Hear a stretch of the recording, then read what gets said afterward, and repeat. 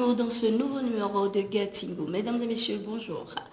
Le diplomate russe Dmitri Siti, directeur euh, du Centre culturel russe de Bangui, victime d'un attentat.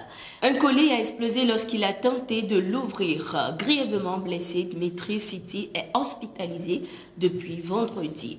Après cette attaque terroriste intervenue dans la capitale centrafricaine, Bangui, le chef du groupe paramilitaire russe Wagner, dont les éléments sont très actifs en République centrafricaine, a accusé la France. Je me suis déjà adressé au ministère russe des Affaires étrangères pour qu'il lance une procédure afin de déclarer la France comme État soutien du terrorisme, a affirmé Evgeny Prigogine, cité par son service de presse.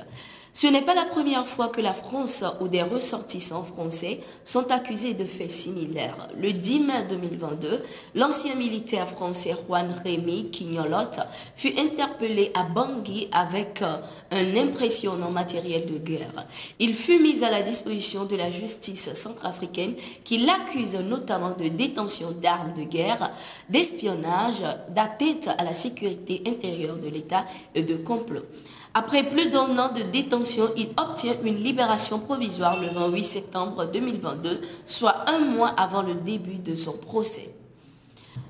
Récemment, le 30 octobre 2022, la chaîne française Le Média a diffusé les bandes audio de Nobert Gazier, un ressortissant français au profil trouble cité dans le coup manqué contre le président de la Guinée équatoriale Teodoro Obiang Nguema Mbasogo, en contact avec les groupes armés qui sèment la terreur en République centrafricaine.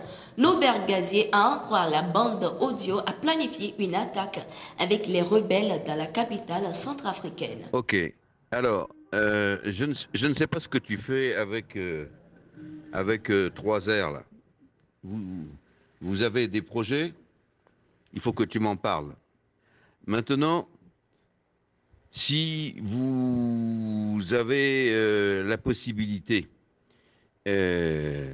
là-bas, le grand patron, il a peur que vous descendiez, vous et les autres, sur Bangui il y, a un, moyen de, de, lui faire peur.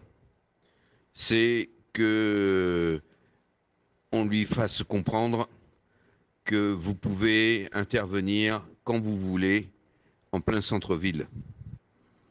Et l'idéal, ça aurait été de toucher euh, les installations de la chaîne de télévision que je t'ai indiquée. Quelques semaines après la diffusion de cette bande sonore dans la nuit du 27 au 28 novembre 2022, un avion a largué des bombes sur la base des forces de défense centrafricaines et de leurs alliés russes basés à Bosangwa, localité située à 300 km de Bangui. L'attaque n'a pas été revendiquée. Le gouvernement tient à informer l'opinion nationale et internationale que ce acte ignoble perpétré par les ennemis de la paix ne saurait rester impuni, a écrit Serge Ghislain Diori, porte-parole du gouvernement. Rappelons que le Mali aussi accuse la France d'armer et de fournir des renseignements aux terroristes dans le Sahel. Bamako dit de tenir des preuves de ces allégations. Le gouvernement du Mali dispose de plusieurs éléments de preuve que ces violations flagrantes de l'espace aérien malien ont servi à la France pour collecter des renseignements au profit des groupes terroristes opérant dans le Sahel et pour larguer des armes et des munitions, a déclaré le ministre des Affaires étrangères du Mali, Abdoulaye Diop. La France rejette toutes ces accusations mais s'oppose à la tenue d'une réunion du Conseil de sécurité de l'ONU qui permettrait au Mali de brandir les preuves qu'il dit avoir.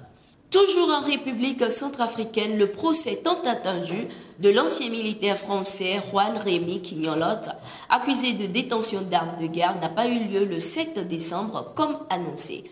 Comme lors des précédentes audiences, l'accusé ne s'est pas présenté.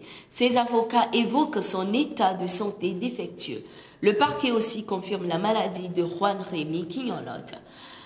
Le dossier Quignolotte est un dossier ordinaire. Il est français, mais cela ne change pas la coloration du dossier.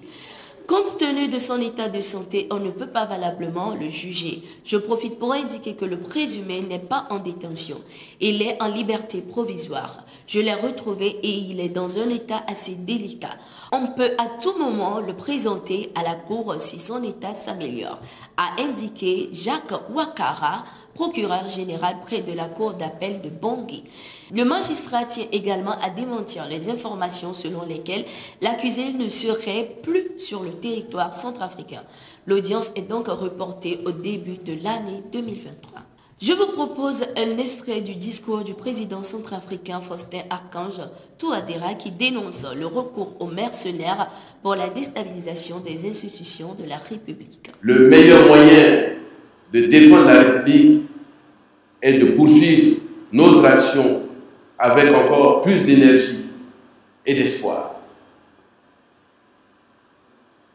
Lorsque j'effectue des déplacements dans l'intérieur de notre pays, je ne vois que l'inspiration. Je souhaite profiter de chaque instant de ma vie comme si c'était le dernier pour donner de l'espoir à mon peuple, à ce peuple qui m'a tout donné et je continue de chérir. Nous continuerons ensemble à démonter, à lever tous les obstacles qui nous empêchent de construire notre pays. Il est déplorable de relever que 64 ans après la proclamation de la République, certains compatriotes continuent de défendre des intérêts étrangers, de nuire aux intérêts nationaux, de recourir aux mercenaires pour la conquête brutale du pouvoir. À ceux qui lancent des appels incessants à la déstabilisation des institutions démocratiques, à ceux qui recrutent des mercenaires pour replonger le pays dans le chaos, je leur rappelle que la force ne peut être une fin en soi ne peut ni ne doit être l'objectif final. Et voilà, nous sommes arrivés à la fin de ce numéro de Gatingo. Merci d'être resté avec nous. Abonnez-vous à nos pages pour ne rien manquer de l'actualité sur le continent. Nos programmes sont aussi disponibles sur le site www.toafrica.com.